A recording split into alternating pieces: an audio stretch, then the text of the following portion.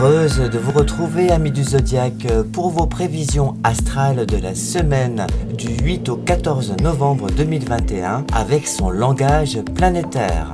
Pour vous, natif Capricorne, la planète Vénus fera ses premiers pas dans votre signe. Cela donnera le top départ aux conflits et autres désaccords. Vos victoires n'en seront que plus savoureuses.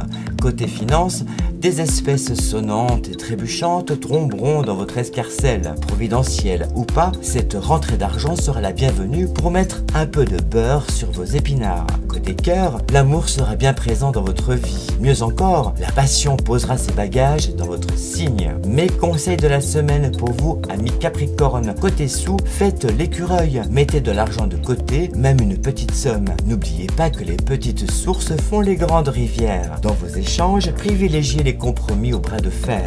Merci à vous, n'hésitez pas à vous abonner à ma chaîne YouTube ou à me consulter pour des prévisions astrologiques plus personnelles. Belle semaine astrale à vous.